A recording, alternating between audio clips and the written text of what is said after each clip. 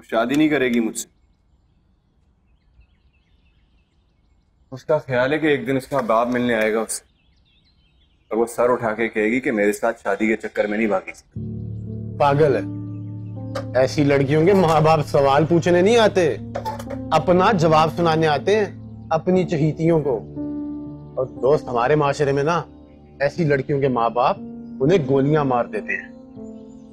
कुछ तेल छिड़क के ज़िंदा जला देते हैं।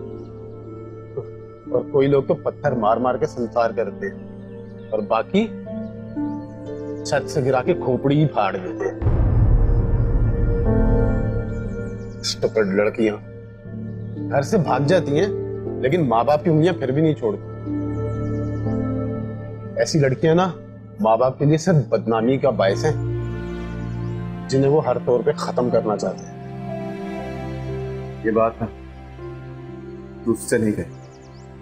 क्यों? अरे जाने देना यार। देखा नहीं था?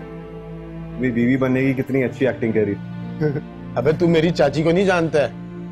बाल की खाल निकालती है और शीरी जैसी लड़कियाँ तो वो हवा में पकड़ ले। तू फ़िक्र नहीं कर दोस्त।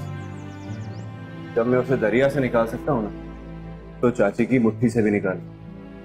चाची की मुट्ठी का नहीं पता है। तू ना उसे उसके बाप की मुट्ठी से दूर रख।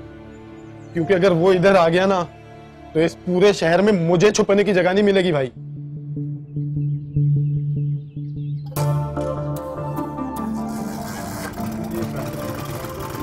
अबे, ये कैसे स्टार्ट हो गई?